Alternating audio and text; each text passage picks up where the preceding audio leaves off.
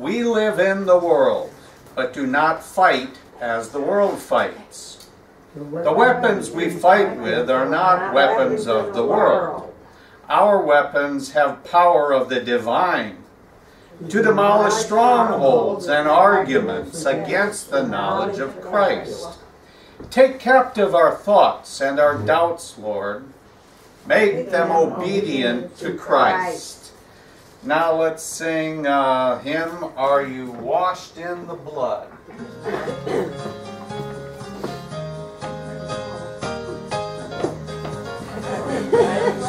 Jesus for his cleansing power. Are you washed in the blood of the Lamb? Are you fully trusting in his grace's power? Are you washed in the blood of the Lamb? Are you washed in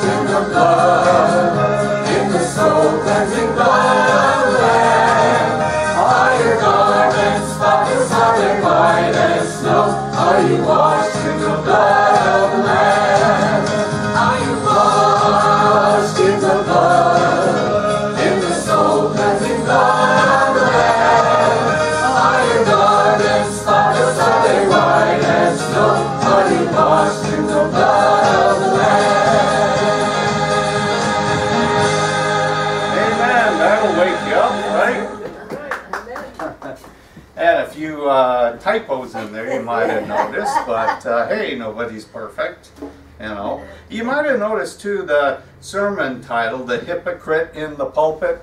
Well, that'd be me.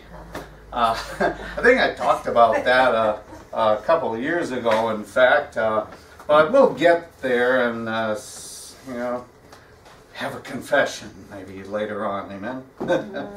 Nothing serious. Don't worry. All right. Let's all pray together. Amen. Almighty God, through your only Son, you overcame death and opened to us the gate of everlasting life. Grant that we who celebrate our Lord's resurrection by the renewing of your Spirit arise from the death of sin to the life of righteousness. Through the same Jesus Christ our Lord. Amen. Our first scripture lesson for today comes from the Apostle Paul's first letter to the Corinthians, chapter 15, and we'll read the first 34 verses. Hear the word of the Lord. Now, brothers, I want to remind you of the gospel I preached to you, which you received and on which you have taken your stand. By this gospel you are saved, if you hold firmly to the word I preached to you. Otherwise, you have believed in vain.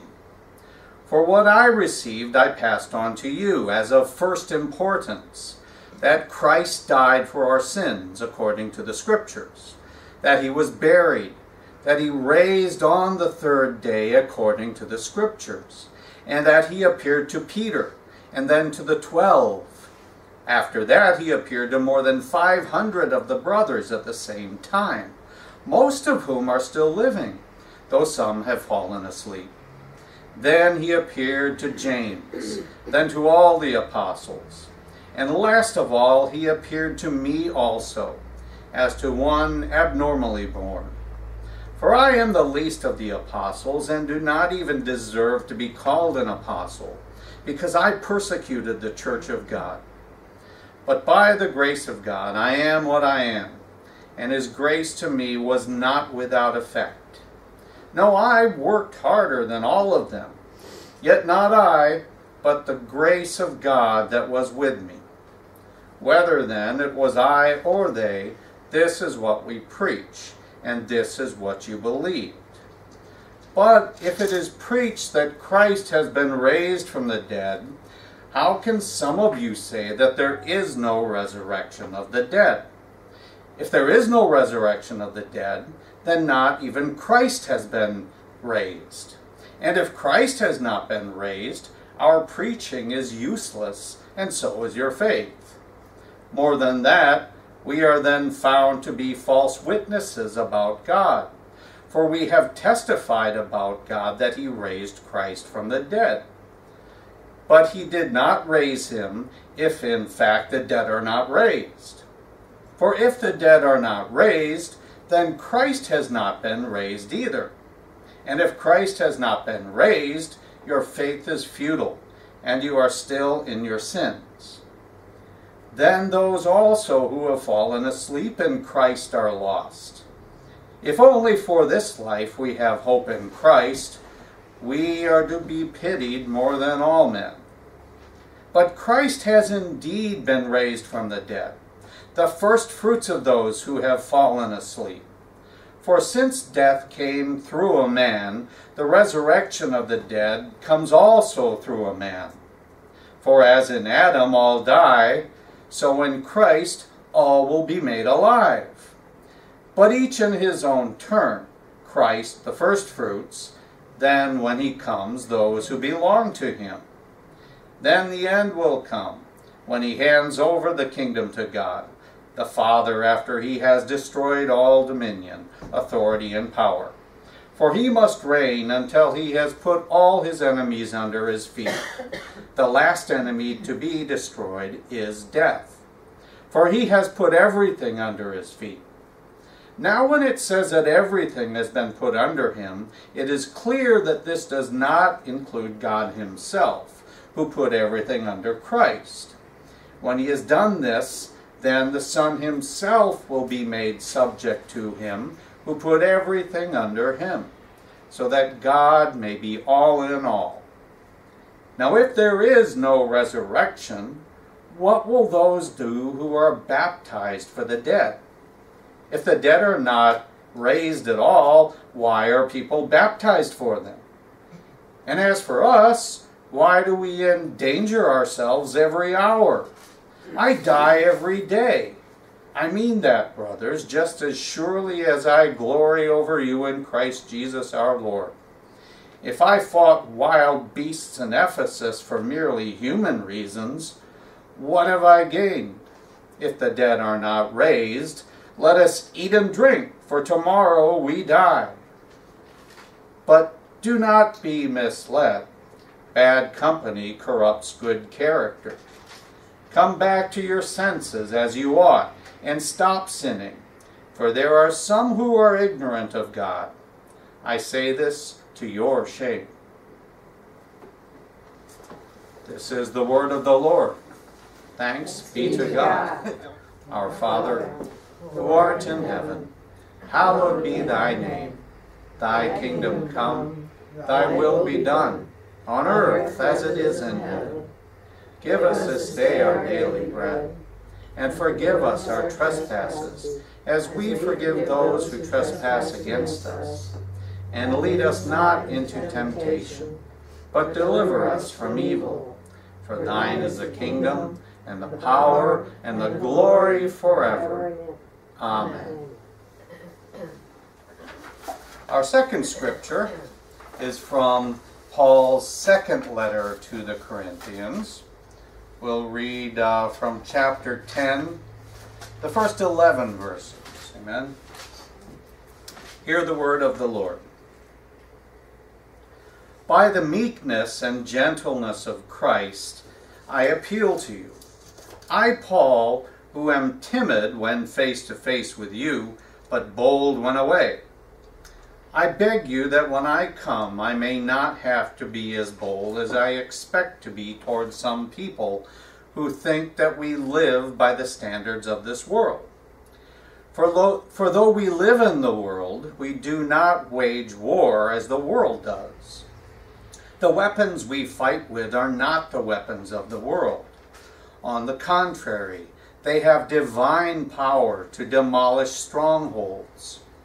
We demolish arguments and every pretension that sets itself up against the knowledge of God. And we take captive every thought to make it obedient to Christ and we will be ready to punish every act of disobedience once your obedience is complete. You are looking only on the surface of things. If anyone is confident that he belongs to Christ, he should consider again that we belong to Christ just as much as he. For even if I boast somewhat freely about the authority the Lord gave us for building you up, rather than pulling you down, I will not be ashamed of it. I do not want to seem to be trying to frighten you with my letters. For some say his letters are weighty and forceful, but in person he is unimpressive and his speaking amounts to nothing. Such people should realize that what we are in our letters when we are absent, we will be in our actions when we are present. This is the word of the Lord for the people of the Lord. Thanks, Thanks be to God. God.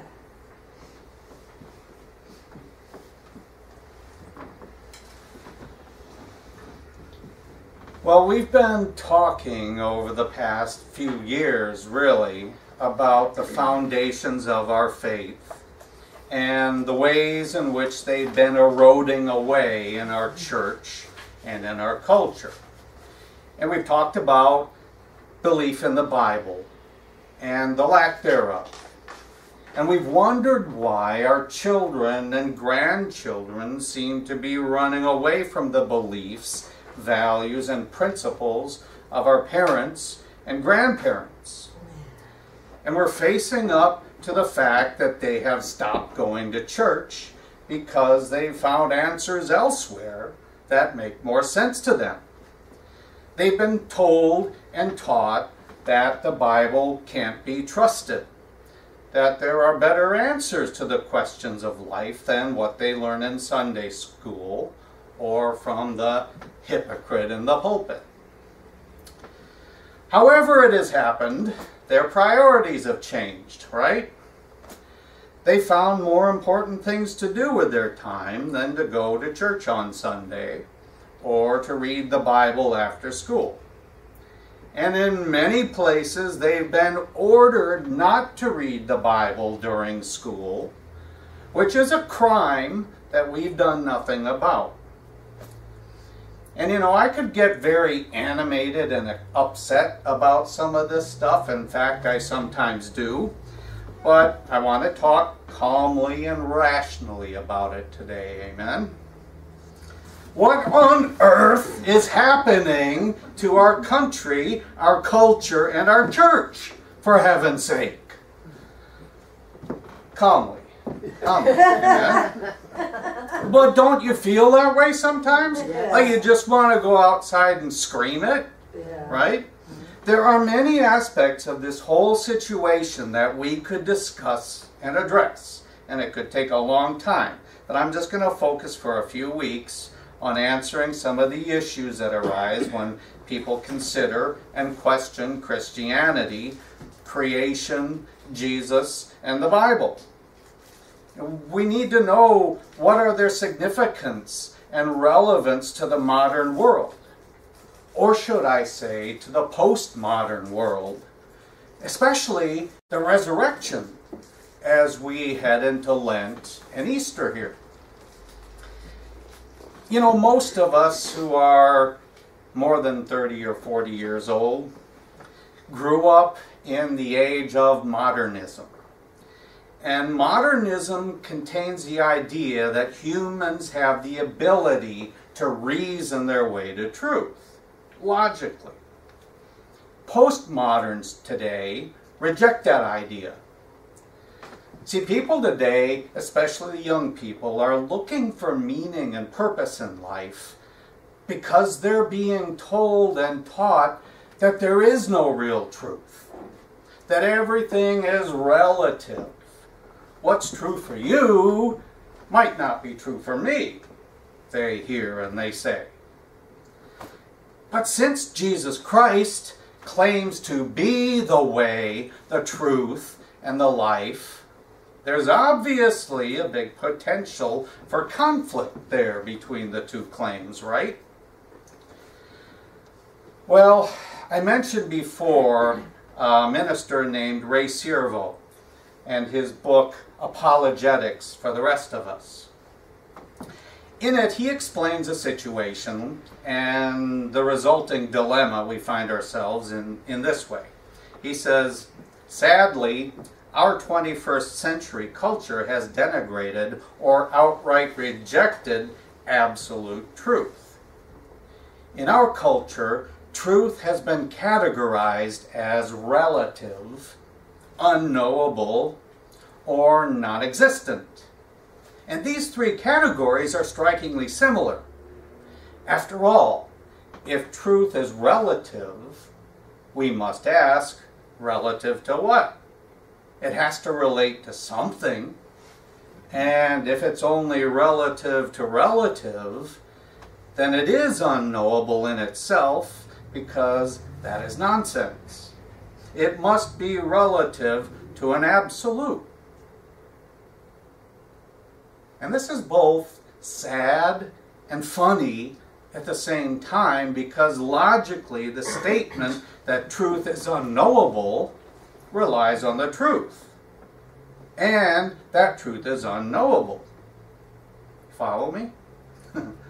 that means we know the fact that truth is unknowable to be true.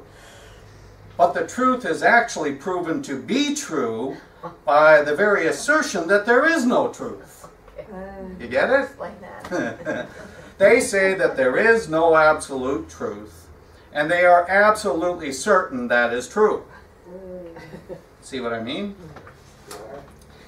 Now, I'm not going to spend a lot of time on this because it seems silly, and we've talked about it before, but I want to illustrate some of the thinking that we're dealing with these days, okay, or a lack of thinking, right? Mm-hmm. Here's the truth about truth. We cannot deny the truth without using it. Give it a try. It doesn't work. You can't do it. Whether we are talking about knowing the truth or the truth about moral absolutes, we cannot deny either one without actually using them. Consider the Ten Commandments, for example. If you're talking about them, someone might say, Don't preach to me about morality. There are no moral absolutes, and it is wrong of you to judge me. Well, what he's really saying is that it is always wrong to make statements about moral judgments. And yet, he is stating a moral judgment saying that it's wrong of you to tell him that he is wrong. All the while insinuating that none of it can be done while he's doing it. Anyway, becoming aware of this kind of illogical thinking can help us as Christians to communicate the gospel message to people who respond to us this way. That's, the, that's what I'm trying to get at here. People really are taught and think that way and respond that way these days. And it can catch you off guard unless you have that in the back of your mind that that's where they're coming from. And the church has not paid a lot of attention to the truth. Now, I'm not talking about the gospel, but about the idea of truth. See, when the Apostle Paul says in 1 Timothy 3 that the church is the pillar and support of the truth, he's referring to the gospel of Jesus Christ. However, the gospel is only true if it corresponds to reality. In other words, the gospel in other words, the gospel of Jesus Christ is true if the story of Jesus' life, death, and resurrection are in fact actual events. Then it is the truth. But if Jesus never really existed, then the gospel is not true. And even Paul agrees with this when he says that if Christ did not rise from the dead, we among all people should be most pitied. That's basically what he was saying in our first scripture. And this is because we would be believing and declaring something to be true that was not real. And as the pillar and support of the truth, we, the church, are to guard the truth and guard the gospel. And the church has not done well with this. We've been giving it up piece by piece, compromise by compromise, until we now find ourselves at a point where many people in the church and those who have left the church aren't sure how much of the Bible is actually true or not. And this is why I spend so much time talking about the truth of Genesis, for example. See, the gospel of Jesus Christ can only be true if the in the beginning accounts are in fact actual events. If some of the Bible is not true, then none of it can be true. And these days, unbelievers understand that. And Therefore, they don't believe the Bible or what the hypocrite in the pulpit says. And I'm taking the time to talk about this because, in general, the church has not fully recognized what kind of battle it is in today. And in reality, it's the very same battle that it's faced since the time that Satan first deceived Eve. You know, we're not just recognizing and adjusting to the new conditions in the culture. It's much more than that. We've given up too much ground and not had the tools or weapons ready to defend our faith, as I've been saying for some time. So what do we do? Well, it starts with taking the time and making the effort to understand some of these things. And it means reading the Bible more. It means asking questions about topics that we ourselves don't understand. It means researching and studying some of these issues so that we have something to say when questions come our way. That we become better able to recognize our own doubts and misconceptions in order to better help others with theirs.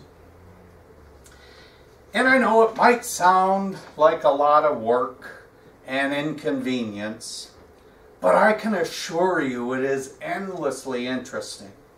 And it's really just plain fun, too, when you get right down to it and into it.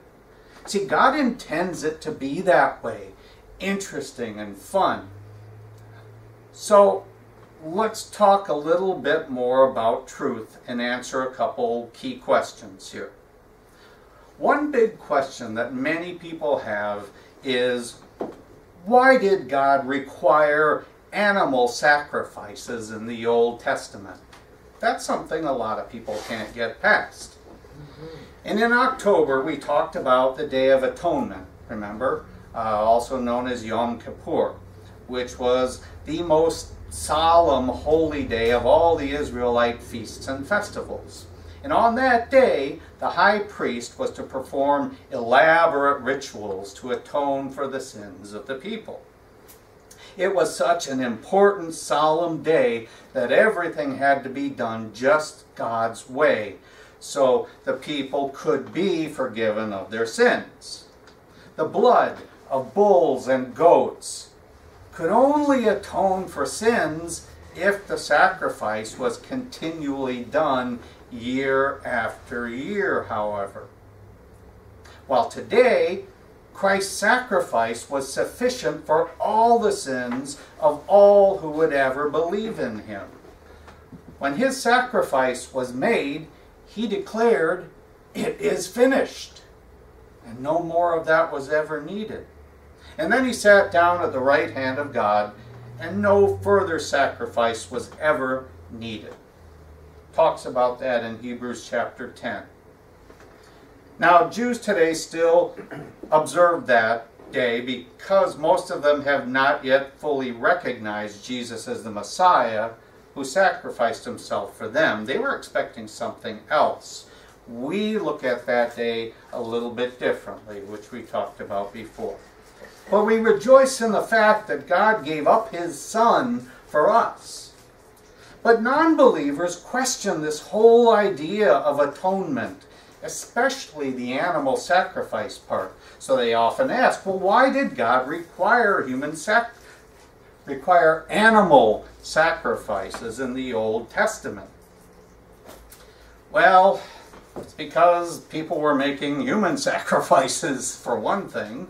They were doing that in the land of Canaan and nearby areas. But God required animal sacrifices to provide a temporary covering of sins and to foreshadow the perfect and complete sacrifice of Jesus Christ. See, animal sacrifice is an important theme found throughout Scripture because without the shedding of blood, there is no forgiveness. When Adam and Eve sinned, animals were killed by God to provide clothing for them, to cover them. God had warned them not to eat from the tree of the knowledge of good and evil, or else they would surely die. And when they disobeyed, they should have died right then and there.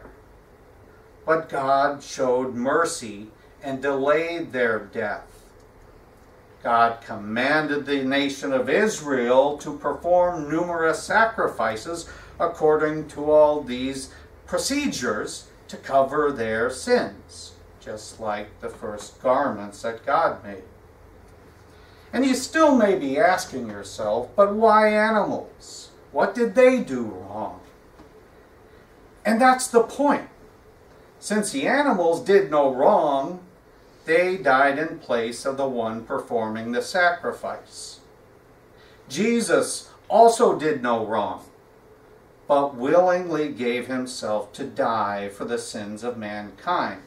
Jesus Christ took our sin upon himself and died in our place. And as 2 Corinthians 5 says, God made him who had no sin to be sin for us, so that in him we might become the righteousness of God. And through faith in what Jesus Christ accomplished on the cross, we can receive forgiveness. So animal sacrifices were commanded by God so that people could experience forgiveness of sin.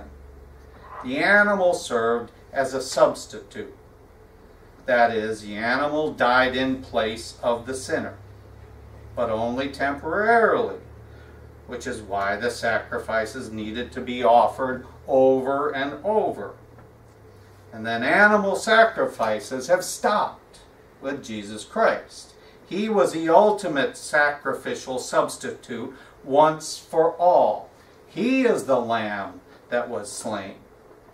Animal sacrifices foreshadowed Christ's sacrifice on our behalf and God's plan to rescue and save us. God loves animals, yeah. but He made people in His image. We are His family. We're not just animals.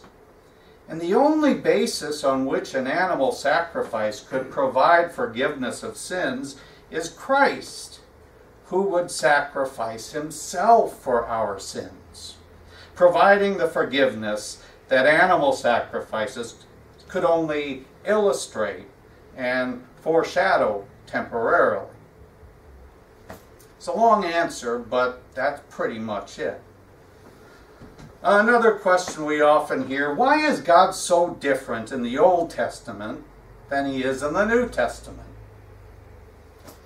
Well, this question shows a basic misunderstanding of what both the Old and New Testaments reveal about the nature of God. Some people say the God of the Old Testament is a God of wrath and anger, while the God of the New Testament is a God of love. Well, the Bible is God's progressive revelation of Himself to us through historical events and through His relationship with hmm. people all throughout history. We learn more about Him as we read hmm. through from the beginning. And when one reads both the Old and the New Testaments, it becomes clear that God is not different from one testament to the other, and that God's wrath and his love are revealed in both testaments.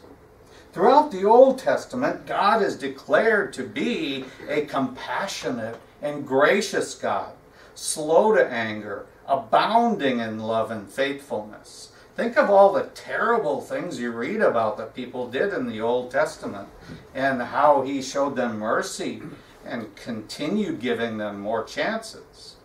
In the New Testament, that's confirmed as God's loving kindness and mercy are displayed through the fact that God so loved the world that he gave his one and only Son, that whoever believes in him shall not perish but have eternal life. And throughout the Old Testament, we also see God dealing with Israel the same way that a loving father deals with a child. Think about it. When they willfully sinned against him and began to worship idols and other things instead of him, God would punish them. Yet, each time, he would deliver them once they had repented of their idolatry. And this is much the same way that God deals with Christians in the New Testament. For example, Hebrew 12:6 tells us, "The Lord disciplines those he loves, and he punishes everyone he accepts as a son." And as we read and study the Bible, it becomes clear that God is the same in the Old and New Testaments. And even though the Bible is 66 individual books written on two or three continents in three different languages over a period of approximately 1500 years by more than 40 authors, it remains one unified book from beginning to end without any contradiction. And in it, we see how a loving, merciful, and just God deals with sinful men in all situations. Truly, the Bible is God's love letter to mankind. And what a better thought going into this week of Lent, Ash Wednesday, and St. Valentine's Day to realize He is the ultimate lover. He gives us the ultimate love letter. Throughout the Bible, we see God lovingly, mercifully calling people into a special relationship with Himself. And He's God. You know, not because they deserve it or we deserve it, but because He is a gracious and merciful God, slow to anger, and abundant in loving kindness and in truth. Yet we also see a holy and righteous God who is the judge of all those who disobey His word and refuse to worship Him, turning instead to worship gods of their own creation as we all sometimes do. And that's also the answer, by the way, for those who question God's destruction of the innocent Canaanites when Israel occupied their promised land and God told them go kill those people. The Canaanites were not innocent. They were offering human sacrifices and all kinds of other deplorable things. They deserved destruction. Because of God's righteous and holy character, though, all sin, past, present, and future, must be judged. Yet God, in His infinite love, has provided a payment for sin and a way of reconciliation so that sinful man can escape His wrath. And we see this wonderful truth in verses like 1 John 4:10 says, "This is love, not that we loved God, but that he loved us and sent his son as an atoning sacrifice for our sins." So in the Old Testament, God provided a sacrificial system whereby atonement could be made for sin. However, this sacrificial system was only temporary, temporary and merely looked forward to the coming of Jesus Christ, who would die on the cross to make a complete substitutionary atonement for sin. So the Savior who was promised in the Old Testament is fully revealed in the New Testament. And what about that hypocrite in the pulpit? Huh? Why are Christians such hypocrites? Well, that question stings a bit, doesn't it? Because hmm? it's partly true. You know, all people are hypocrites. I certainly am. See, hypocrisy means play acting or pretending. And Christians sometimes pretend to be better than others or holier than thou. Because we preach God's rules and cannot live up to them all consistently, we are called hypocrites. And the best answer to this one might be most of us try not to be, but we're human. That's why we need God so desperately. We don't always tell the truth, but we do know the truth. And this hypocrite in the pulpit only wishes for you to know him too. You can be forgiven. Your sins will be atoned for. You can reach that place of at one ment with God you don't need to sacrifice your pets. Just offer yourself as a living sacrifice to Christ. Humble yourself before the Lord and he will lift you up. Accept his sacrifice for you. How can you find him? Where can you meet him? He's waiting for you with open arms at the cross. Amen? Amen. Let's sing that at the cross.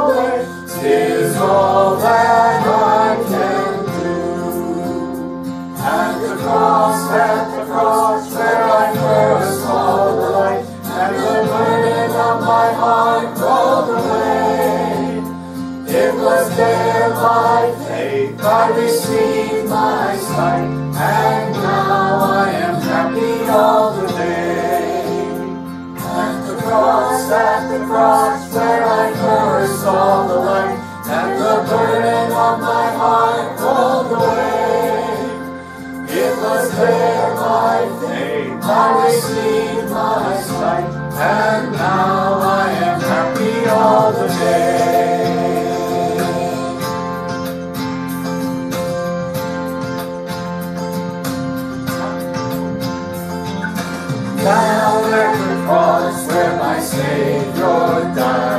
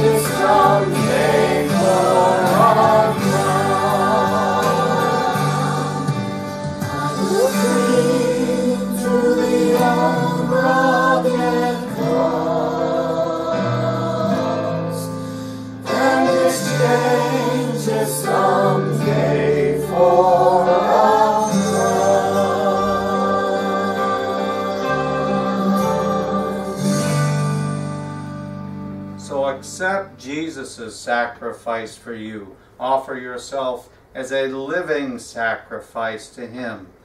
Humble yourself and He will lift you up. We'll finish with shalom to you.